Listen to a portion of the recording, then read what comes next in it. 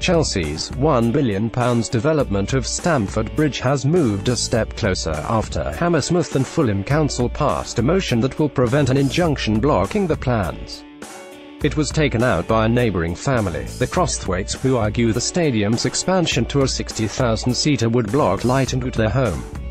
At a meeting on Monday, the council agreed to acquire land at Stamford Bridge which ensured the injunction is not valid, as the family cannot take the council to the High Court. The new stadium was granted planning permission one year ago and has been signed off by the Mayor of London. Monday's decision means the council can take responsibility for the land in question at Chelsea's instruction and lease it back to the club, ensuring it is not subject to legal challenge as had previously been the case. This will only happen if the club cannot reach an agreement with the Crosthwaites. The family have no legal right to challenge the council on this issue, but could ask for a judicial review.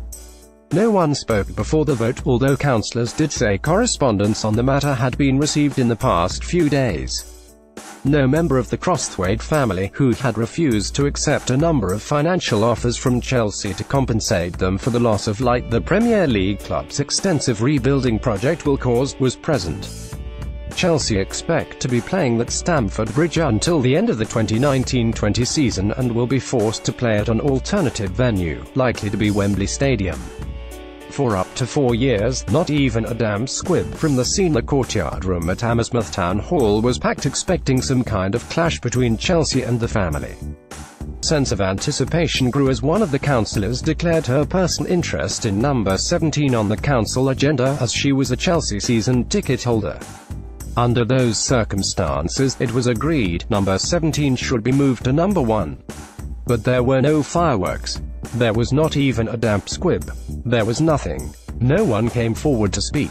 None of the family members were present. No solicitors. Nothing. Under such circumstances the councillors took the only course of action open to them.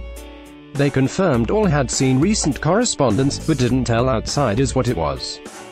They confirmed they understood the recommendation. And they passed it. All done in less than five minutes.